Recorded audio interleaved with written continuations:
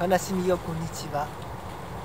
手のひらにそよ風が光の中キラキラ踊り出す下ろした手の笑顔で知らない人にもおはようって言えるの。あなたにえなくなって錆びた時計となりだけど平気涙の乾いた後には夢の扉があるの。